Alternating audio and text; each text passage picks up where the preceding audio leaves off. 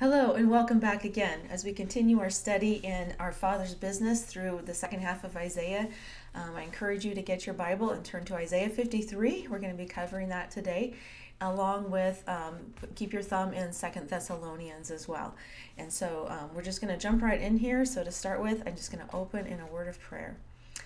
Dear Father, we thank you and praise you so much for your faithfulness, for your great patience with us, your great mercy bestowed upon us. And God, we thank you and praise you so much that you would call us children of God. Thank you for that privilege. And God, we just pray as we go to your word today that you would um, just um, speak to our hearts, God. We long to hear from you, and we just ask that you would um, lead us by your Spirit through your word. And I just pray that um, it would glorify your name. And we praise you in Jesus' name. Amen.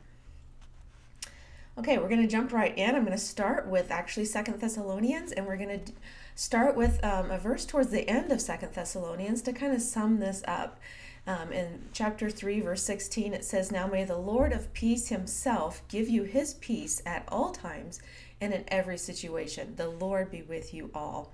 And um, how do we have peace in the midst of turmoil? And we know that Second Thessalonians was written to persecuted believers, and so they were going through a lot of turmoil. And how would they how could they have peace through those times? And um, as we sum up second thessalonians to start with just to, to give an overview of it um, and that is to know um, that in every situation we can have god's peace. And the way that we can there's several things that they cover in second thessalonians and that is that we know the end of the wicked um, that judgment is coming upon them and that we know that God is a righteous judge and he will do what is right. We also know that God holds us in his hands and that we can be built up in him and where it says the Lord be with you all and, and God is with us in every situation. And so because of that, we can have the peace of the Lord in our hearts.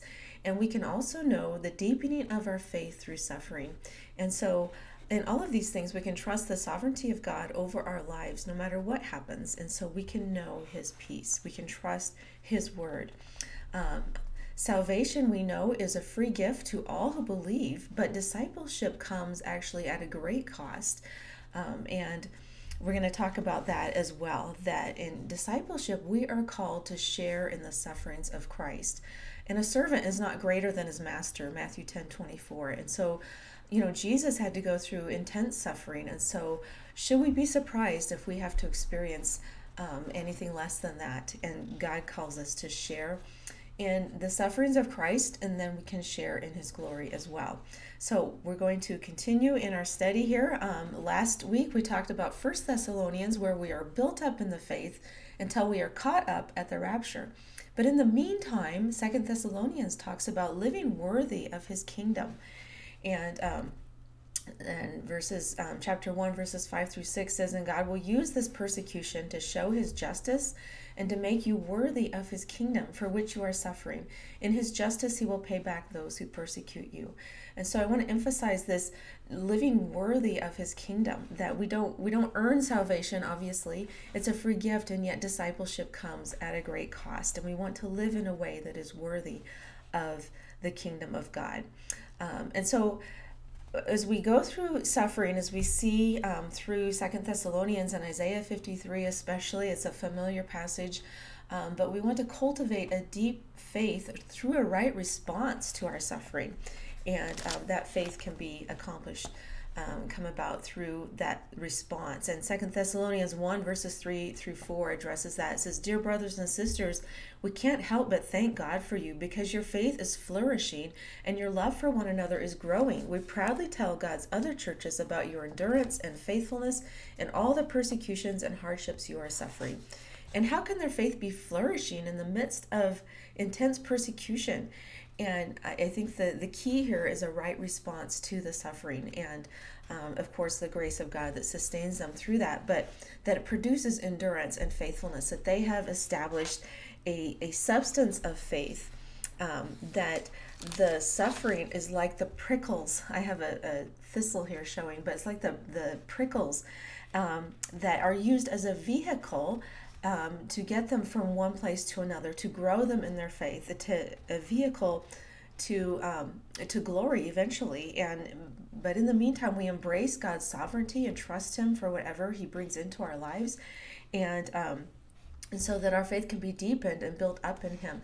And that brings substance to our faith so that when we do come to the ultimate trial of whether uh, we are called to die for christ or not that that faith will be built up so that there is substance to the faith so um, that we can persevere. And of course it's all again by the grace of god. But first peter 1 6 through 7 says in this you greatly rejoice though now for a little while you may have had to suffer grief and all kinds of trials. These have come so that your faith, of greater worth than gold, which perishes even though refined by fire, may be proved genuine and may result in praise, glory, and honor when Jesus Christ is revealed. So we go through these things to show that our faith is genuine, and um, and so we can be encouraged in this. And um, and God calls us also to pray for one another as we go through these hard times. And second Thessalonians 1 11 through 12 says, So we keep on praying for you, asking our God to enable you to live a life worthy of his call. There it is again, living a life worthy of his call. May he give you the power to accomplish all the good things your faith prompts you to do. And then as a result, the name of our Lord Jesus will be honored because of the way you live, and you will be honored along with him. This is made possible because of the grace of our God and Lord Jesus Christ. And so I like to think of, you know, those who are being persecuted across the world. We are called to pray for them, but I think of of how um, in some ways they are stronger than us who live in prosperity, than us who live with um, life a little easier. That um, actually there is great danger in prosperity, great danger to our faith, that it will become weak. And those who are persecuted have a strong faith because um, they have to um, know what they believe and put their faith in God and and go out on a limb, so to speak, uh, with their faith. They, they have to trust God um, for that, and that faith is strengthened and made strong in that way. And so there is um, a danger to prosperity, and we need to be careful and make sure that we are. Um, responding correctly to what God brings into our life to, to build that faith. Um, we see the example of Jesus in Hebrews 13 12 through 13. It says, so also Jesus suffered and died outside the city gates to make his people holy by means of his own blood. So let us go out to him outside the camp and bear the disgrace he bore. For this world is not our permanent home. We are looking forward to a home yet to come. And so we have this perspective of um, e- eternity, and we know that this this world that we live in now is not all there is. And so um, be willing to identify with Christ and be um, are we embarrassed to bear his name or are we willing to suffer shame for the sake of his name? Um, and to um, you know jesus bore the ultimate suffering when he went to the cross. And yet he knew the peace that transcends all understanding. And, and the way he could do that is you know peace was not the removal of that cross from his life but peace was embracing that cross embracing his father's will for him and and because of that he alone is worthy to be seated at the right hand of God the Father and to receive the highest place of honor in in in all creation and beyond that to be exalted to the highest place. And so um, we share in his sufferings. We go to him. We, we embrace what god brings into our lives. We share in the sufferings of christ. So that brings us to isaiah 53 again a very familiar passage but we're going to just go through it. Um, it's very um, meaningful, very um, sobering, really. And so Isaiah 53 1, 1 through 2, it says, Who has believed our message? To whom has the Lord revealed his powerful arm? My servant grew up in the Lord's presence like a tender green shoot, like a root in dry ground. There was nothing beautiful or majestic about his appearance, nothing to attract us to him. He was despised and rejected, a man of sorrow, acquainted with deepest grief. We turned our backs on him and looked the other way. He was despised, and we did not care. Okay, that's pretty powerful. Um, and you know, it talks about it that the Lord's presence like a tender green shoot. And I think of when he came the first time, he came as a baby, very vulnerable, very tender, and um, and and then like a root in dry ground. And that, um, as you all know, you've probably seen a flower bulb that you know is pretty ugly and yet you plant that bulb and it grows into a beautiful flower and and christ was like just a, a root out of dry ground which is not generally very attractive and so nothing to attract us to him he was despised and rejected and uh, a man of sorrows. And when we are treated this way, when we are despised and rejected, um, we need to consider it an honor to share in his in his sufferings. If Christ was treated this way, um, there's no surprise when we're treated this way. Um, let's move on here. Isaiah 53, 4 through 5 says, Yet he it was our weaknesses he carried. It was our sorrows that weighed him down, and we thought his troubles were a punishment from God, a punishment for his own sins. But he was pierced for our rebellion, crushed for our sins. He was beaten so we could be whole. He was whipped so we could be healed. So Jesus was not being punished for his own sins, as we know that Jesus had no sin, that he was led as a lamb um, to the slaughter. Um, for the sacrifice. And, and in the old testament we know that that when they brought the sacrifices um, to the tabernacle they had to be a perfect lamb. There could be no blemish. It had to be a perfect lamb. And that was important because jesus had no sin in him. He was perfect. And he alone because he was perfect, he alone could bear the sins of the world. And, um, and so God's justice was satisfied in that. And, um, and it had to be a perfect man. And um, Isaiah 53, 6 through 8 goes on to say, All of us, like sheep, have strayed away. We have left God's paths to follow our own. Yet the Lord laid on him the sins of us all. He was oppressed and treated harshly, yet he never said a word. He was led like a lamb to the slaughter, and as a sheep is silent before the shearers, he did not open his mouth. Unjustly condemned, he was led away. And so, like sheep, we have gone astray, and yet it's it's fitting that God would call himself the Lamb of God who takes away the sin of the world. That, that God calls us to bear suffering in the same manner and um, and to look to the end, look to the the end. And um, we know that the, the lambs, when they go to slaughter, they don't cry out like other animals too. They do, they are silent. And so Jesus went um, to, um, he gave his life willingly um, and bore the weight of the sins of the world. And he is able to bear that weight. And so um, we put place our faith in him, and that's how we, we can have life as well. But um, that, yeah, that each of us have, have gone astray. We've chosen our own way, and God um, calls us to live by His terms and live His way. And um, as we move on here, Isaiah 53 8 through 9 says, Unjustly condemned, he was led away. No one cared that he died without descendants, that his life was cut short in midstream. But he was struck down for the rebellion of my people. He had done no wrong and had never deceived anyone. But he was buried like a criminal. He was put in a rich man's grave. And here we see some very specific prophecies that are fulfilled that um, that he was buried like a criminal. We know that he was hung on the cross with with two other uh, with two criminals, not other criminals, but because he had done no sin, but with two criminals and um, treated as a criminal as he was hung on the cross and bore the the curse of humanity, the curse of mankind.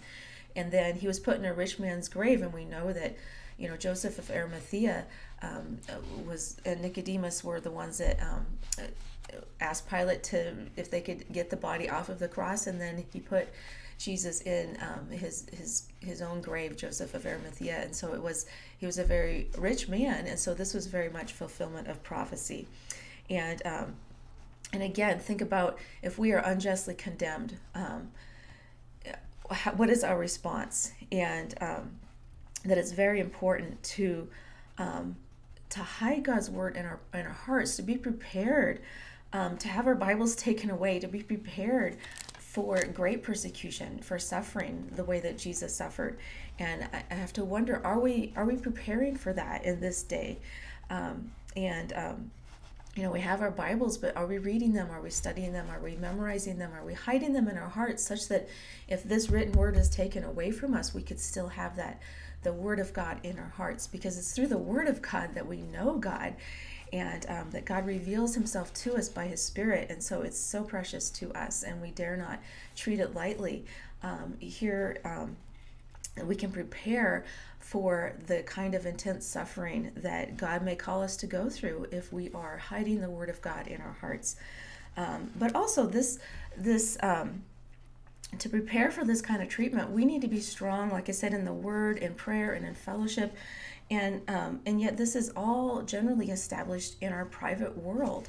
Um, you know, we live in an age of public show where people they they want to um, even their Christianity is, is a show is, is all on the outside. And thinking that's all it's all about is, is a public life that other people can view us as being religious or righteous. And yet God says you know it's all about the heart and there is no substance in outward show it's only a shell and so when trials come if, if all we have is an outward shell of outward show of Christianity, then we are going to fold when when trials come. We're going to be crushed when trials come, and God calls us um, to develop.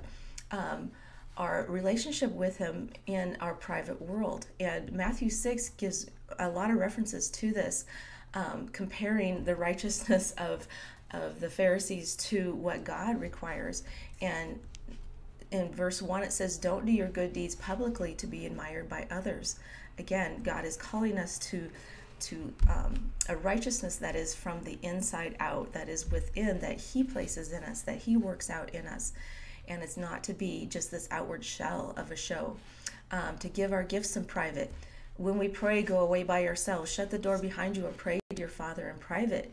When you fast, comb your hair, wash your face, then no one will notice that you are fasting except your Father who knows what you do in private. And your Father who sees everything will reward you. Again, so a faith that has substance to it that won't crush or fold in persecution and in hard times is actually built in our private world. And again, a faith built on outward show, it's only a shell and it will crush when hard times come. And um, and so, does our faith have substance? And this is an important question that we need to, to ask. That that that you know the intimacy with God is exclusive. It's private, and uh, we need to develop that in our private worlds and not that we never um, pray together in public we do that as well but it has to be there has to be a substance of faith in our private world in order for us to um, to be um, authentic and to be um, and to be real in that and to have that that substance of faith that can withstand persecution and suffering and um, as we go on here in Isaiah 53:10, it says, "But it was the Lord's good plan to crush him and cause him grief. Yet when his life is made an offering for sin, he will have many descendants. He will enjoy a long life, and the Lord's good plan will prosper in his hands." And I forgot to mention back in, in the other verse that it said that he was cut off from his descendants, and he was cut off in the prime of life. And it seemed like a defeat on the cross, and yet it was a great victory because all those who place their faith in Christ are called the children of God. First John speaks about, you know, behold what manner of love the Father has given unto us that we should be called children of God. And that is what we are because by faith we are made children of God. We are adopted into his family. And so Jesus is given many descendants, um, more than can be counted, really, that he will have many descendants. And so um, it seemed like a defeat, and yet it was not, because in the end, God um, raised Jesus from the dead, and um, Jesus um, has many descendants, many children, and this is a great victory. And so, um, likewise for us, that that when we're going through suffering or, or hard times that we can if we can look forward to the end. I think of an athlete who goes through excruciating pain and pushes himself to the limit just to win a race to get to the end of the goal for for that. And yet um, he, he he suffers and he goes through that that difficulty because he knows the end and he knows that the goal at the end. And likewise for us um, as we go through suffering, we need to look beyond the temporary, look beyond the things of this earth, and look to things eternal, and know that in the end we are on the winning side. And um, and so um, as we go on here, I wanted to, to look a little more at this verse where it says, The Lord's good plan to crush him and cause him grief. It was the Lord's good plan. And, and um, should we be surprised then that this might be God's good plan for us as well, to crush us and to cause us grief at times? And this is really to cause us to build our faith. Faith is a muscle, it has to be exercised, and we have to trust in God's sovereign plan. And as we go through these hard times, we know that God gives grace according to the measure of our need, and He will sustain us. It is Him who sustains us through these hard times that we have to look to him we have to accept what He brings into our lives and embrace them rather than to resist that which He brings into our lives. You know, He calls us to cast our cares on Him um, because He cares for us and He can bear the weight of every troubled heart. He can He can bear the weight of it, and so go ahead, cast your cares on Him. Um, cry out to him and and god says you know his grace is sufficient but there um, you know if jesus had to suffer if it was god's good plan to crush his own son to cause his own son grief can we expect any less and so we need to during these days um, be um, clinging to the lord and building a substance of faith that can hold strong and that substance is built um, through um, not only studying and remaining in the Word of God and remaining in prayer and in fellowship with other believers, but also through suffering and a right response to suffering. Um, and so we have from 1 Peter 2 21 through 24, it says this For to this you were called. So we're called to suffer for Christ because Christ suffered for you, leaving an example that you should follow in his steps. When they hurled their insults at him, he did not retaliate. When he suffered, he made no threats. Instead, he entrusted himself to him who judges justly. He himself bore our sins in his body on the tree so that we might die. By his wounds you have been healed. And so we can endure, another way we can endure suffering is to understand that we need to leave justice to God. We, we can leave it in his hands because we entrust ourselves to him who judges justly. And we know that we have a righteous judge who will do right. And that um, and God is watching over our lives and he is with us no matter what we go through. And so we can have great comfort and encouragement in that. And so back to Second Thessalonians chapter 2, 15 through 16, it says, With all these things in mind, dear brothers and sisters, stand firm and keep a strong grip on the teaching we passed on to you, both in person and by letter. Now may our Lord Jesus Christ Himself and God our Father, who loved us and by His grace gave us eternal comfort and a wonderful hope, comfort you and strengthen you in every good thing you do and say. So we have great comfort and strength in God and in the hope that He gives us of our eternal inheritance and of His presence with us in the here and now. And again, suffering produces substance to our faith, and we consider it an honor to share in the sufferings of Christ. Um, but we do have an enemy. We have an enemy who is fighting against us as well. Um, and Second Thessalonians refers to this enemy. He says, "Don't be fooled by what they say, for that day, that is Christ's second coming, will not come until there is a great rebellion against God, and the man of lawlessness is revealed." the one who brings destruction. He will exalt himself and defy everything that people call God and every object of worship. He will even sit in the temple of God, claiming that he himself is God. For this lawlessness is already at work secretly, and it will remain secret until the one who is holding it back steps out of the way. So, right now, we have the Holy Spirit who restrains sin in the world, restrains sin in our own personal lives. The Holy Spirit holds back sin in our lives. And this is why we need to submit to Him, because the more of the fullness of the Spirit we have in our lives, the, the more um, we can um, be um, holding back that sin in our lives that that like gravity just wants to sweep in and, and by default we return to sin just like we or by like gravity held to the earth and yet um, the holy spirit like an airplane the power of an airplane that can defy gravity the holy spirit causes us to rise above that sin and to resist it and hold it back. And so um, we do have an enemy though and um, as we get closer to the end to the second coming of christ we know that um, there's going to be an intensity of the deceit, intensity of the lying, of the chaos, of the confusion, because we are getting close. Um, Satan knows we're getting close to to the end and to his end, and so, um, so the uh, the intensity of our suffering, I think we can expect to um, get greater as well as we get closer to the end. So don't be surprised because we do have an enemy who is seeking to fight against us.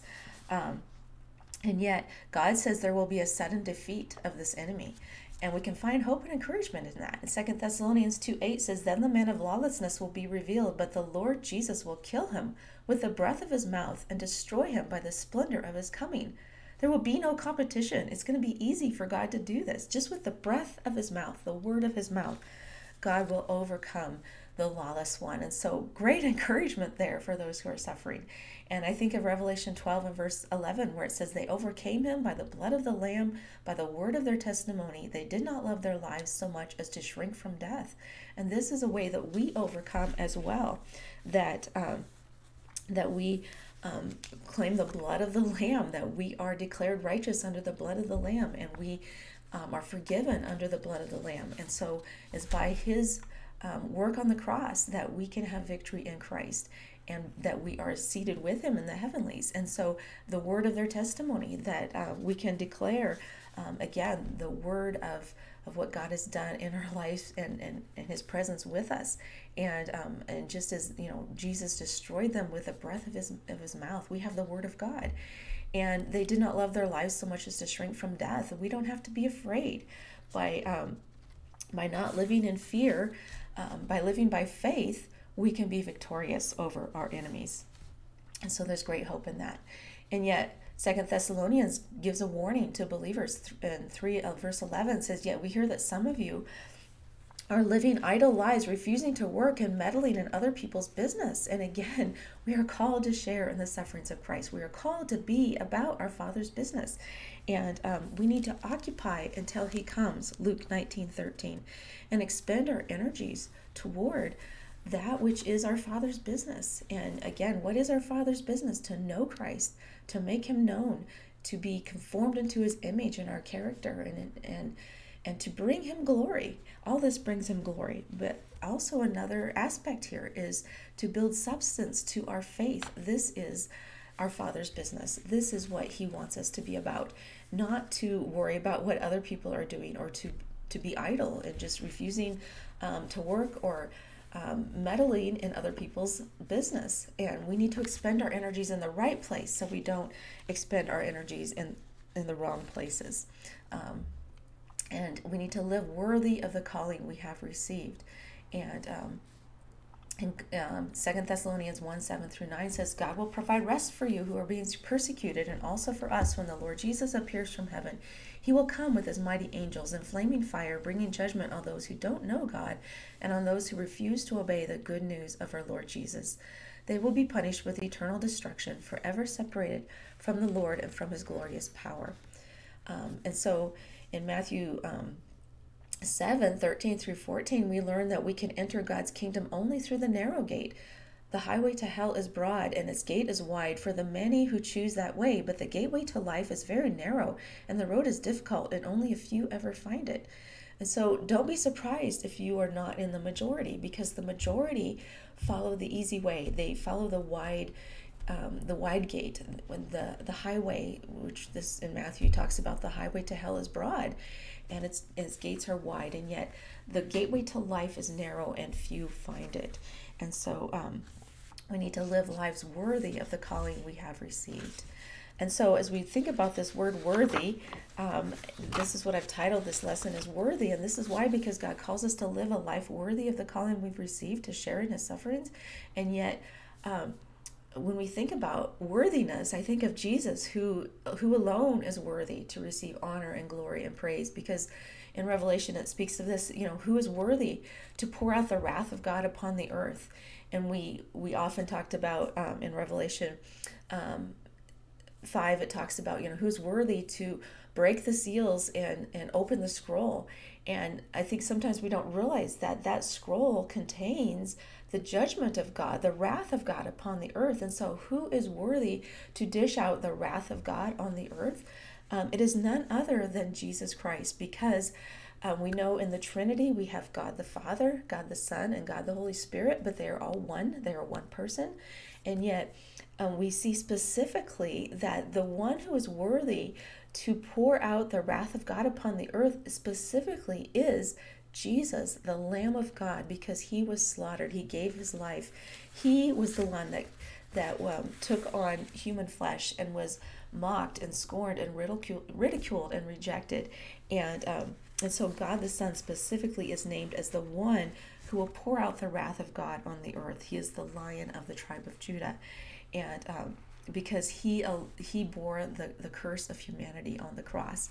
And i find that very um, very um, touching or satisfying encouraging um, to know that that god him, himself you know says that it is jesus who is worthy to um, pour out the wrath of God upon the earth. In Revelation 5 says, The lion of the tribe of Judah, the heir to David's throne, has won the victory. He is worthy to open the scroll and its seven seals. Then I saw a lamb that looked as if it had been slaughtered. It said, You are worthy to take the scroll and break its seals and open it, for you were slaughtered, and your blood has ransomed people for God from every tribe and language and people and nation. And so, what encouragement in that? We know the end, and we know that we are on the winning side. Isaiah 53:11 says, "When he sees all that is accomplished by his anguish, he will be satisfied." God was satisfied with Jesus' sacrifice on the cross um, because he was the perfect lamb, lamb. He was a sinless one. And because of his experience, my righteous servant will make it possible for many to be counted righteous, for he will bear all their sins. And again, great comfort and encouragement in that. And then we end with Isaiah 53 12, where it says, I will give him the honors of a victorious soldier because he exposed himself to death. He was counted among the rebels. He bore the sins of many and interceded for the rebels. And so we see here that that um, you know Jesus is given a, a soldier's honor uh, because Jesus went to the cross. He suffered death and bore the sins of many. And God calls us to live worthy of such a sacrifice. And um, again, we don't earn our way to heaven, and yet, um, as we share in Christ's sufferings, we prove that our faith is genuine in Him, and God calls us to live worthy of such a deep, deep sacrifice that was given for us so that we could have life. And so, as we share in His sufferings, we can also, God promises that we will share in His glory. And so, I hope you were encouraged by this. And again, um, God calls us to live a life that is worthy of such a sacrifice. Um, thank you for being here and um, joining me on this this journey through Isaiah 40 through 66. And um, next week we will work on Isaiah 54 um, with uh, First Timothy, I believe, is the next book we got going here. So um, I will see you then. Thank you so much for being here.